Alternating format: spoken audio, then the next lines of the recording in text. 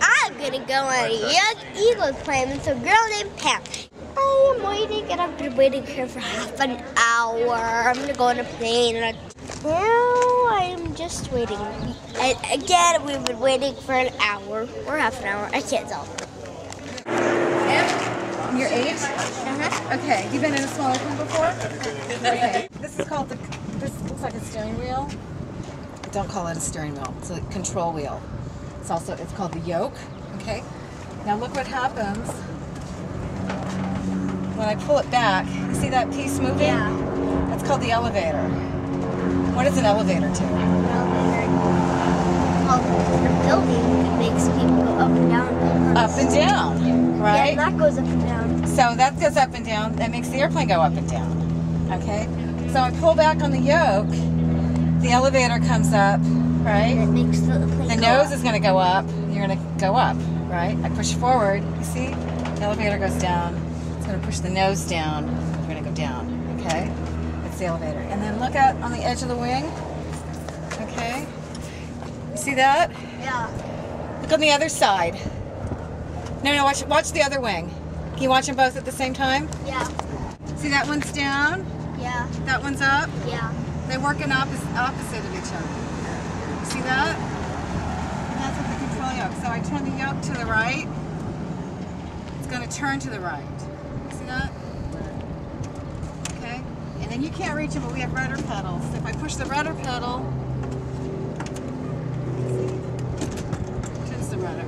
So we, we, we, we steer on the ground with the rudder, and then we use uh, the rudder helps us in the turn. So go ahead, put your hand here.